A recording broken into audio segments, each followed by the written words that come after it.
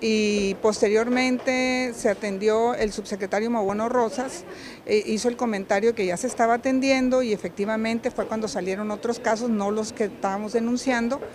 Y, y, en ese protocolo que mencionamos, por eso lo saco a colación, él nos invitó a que fuéramos con él a poner las denuncias, a dar los nombres y demás, cuando el protocolo lo señala antes que nada a él como responsable de darle seguimiento puntual a este protocolo.